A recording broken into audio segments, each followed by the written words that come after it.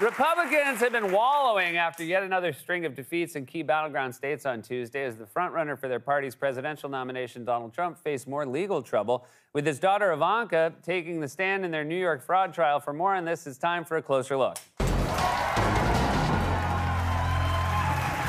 Donald Trump's daughter Ivanka arrived at the Manhattan courthouse today and took the witness stand in the Trump company's civil fraud trial, a scenario Trump was reportedly desperate to avoid. I'm assuming because Ivanka is, in his eyes, the most competent and thus most knowledgeable member of the family. There's no way Trump trusted his two bearded oblong bozos with any real information, but Ivanka could get him in trouble because while Don Jr. was in the woods posing for the cover of his country folk Christmas album and Eric was in Brazil having his gums lowered, I'm willing to bet Ivanka was in the room for everything. For example, maybe she could explain what the hell her father was talking about on Monday when he pulled out a piece of paper during his testimony and said it would clear his name. Hours into his testimony, Trump attempted to read from a piece of paper he retrieved from his pocket. I'd love to read this, Your Honor, if I could. Am I allowed to do that? Trump asked. When the judge said no, Trump muttered, I'm shocked, I'm shocked. So, on top of everything else, Donald Trump has never seen an episode of Law and Order. Your Honor, may I present non submitted evidence from the witness stand? Do whatever you want. Courtrooms are famously loose with the rules. In fact, if you if I ever say anything you don't like, feel free to object to me.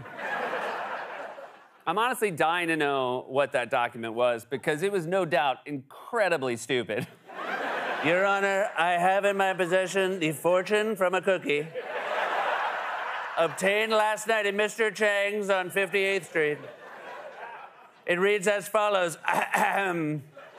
What you believe you can make true, I accept your apology. I accept, and I believe I'm free to go. Honestly, I'm just shocked Trump didn't pull out some of the courtroom sketches that have been released so he could complain about them. Trump's former press secretary called one particular sketch of Trump a travesty and said it looks nothing like him. Now, I'll admit, it doesn't look a ton. it don't look a ton like Trump until you widen out and see the hands. They nailed the hands. By the way, the same artist who drew that sketch also did one of El Chapo, and yet somehow a guy who shares a courtroom sketch artist with a notorious drug kingpin remains the GOP frontrunner for president.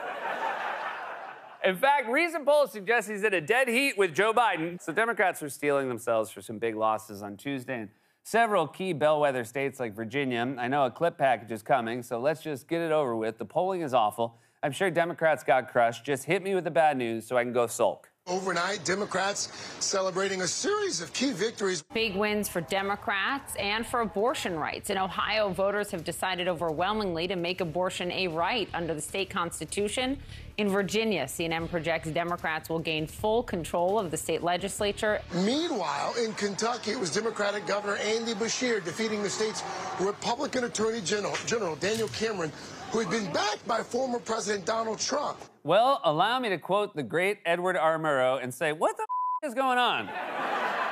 You're telling me Biden is losing to Trump in the polls, but a Democrat just won re-election against a Trump-backed candidate in Kentucky. You're telling me Trump, the guy who stocked the Supreme Court with 80s movie villains with the explicit goal of overturning Roe v. Wade, is leading the polls in Ohio, where voters just overwhelmingly approved a ballot measure to protect abortion rights? This makes so little sense. Even Steve Kornacki's big board last night said, I give up.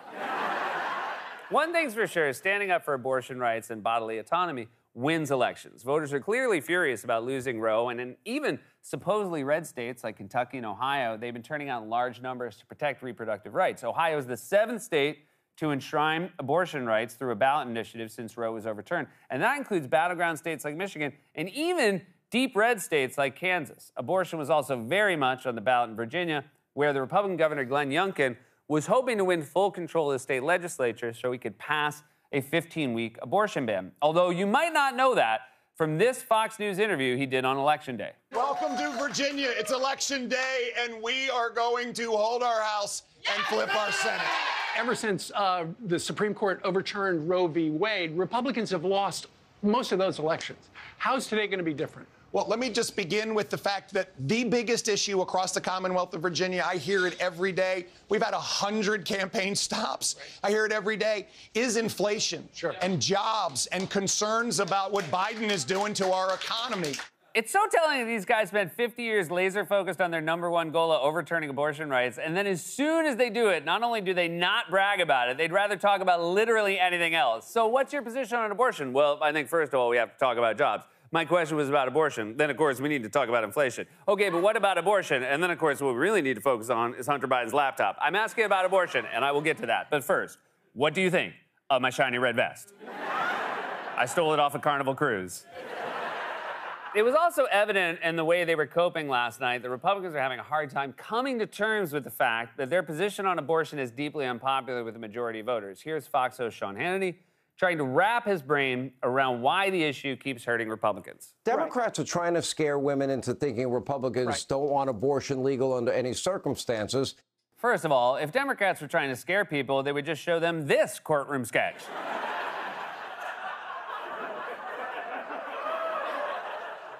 But yeah, I wonder where voters could possibly have gotten the notion that Republicans want to outlaw abortion, aside from all the GOP led states that have outlawed abortion, or the GOP politicians who say they want to outlaw abortion, or the new Speaker of the House who sponsored a bill to outlaw abortion, and who's so conservative, and this is real, he said last year that he and his 17 year old son monitor each other's porn intake.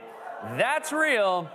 He said that. They apparently use an app that sends each other a report when they look at porn so they can hold each other accountable. Can you imagine knowing in real time when your dad is watching porn? The only thing I want to hear from my dad on the phone is hold on, your mother wants to say hi. Also, how can you, sir, use an app to monitor porn when your name sounds like a porn actor's name? For example, the other day, I wanted to learn more about his extreme right wing position, so I Googled the words Johnson exposed, and let's just say the notifications on the porn monitoring app my dad made me install were blowing up. He called me right away, and I said, I was working on a closer look. And then he said, You should take a closer look at your priorities. Although it is fun to imagine what it would have been like if Joe Biden had that app on his phone with his son Hunter. Just mid press conference. Hold on a sec, my phone is buzzing. Oh, oh, uh, oh, dear God, Hunter. Dear God, Hunter, get a hold of yourself, man. Keep it on the laptop, buddy. Anyway, where we oh yeah, so Republicans were wallowing last night. In fact, they were so bummed that over on Newsmax, former GOP senator and presidential candidate Rick Santorum was complaining about the fact that Democrats sponsored ballot initiatives to legalize marijuana and enshrine abortion rights. We've seen this now for the last several years. And so a base election, they uh, Democrats outspend, and you put very sexy things like abortion and marijuana on the ballot, and a lot of young people come out and vote. Ooh la la. Abortion and marijuana are sexy now? That's so weird to hear coming from international sex symbol Rick Santorum. You think marijuana is sexy? Look, by the time Ohio is cool with anything, it's not sexy anymore.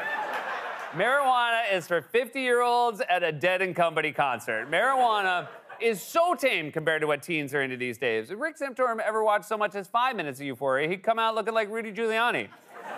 I mean, that's what I look like after I watch one episode of Euphoria.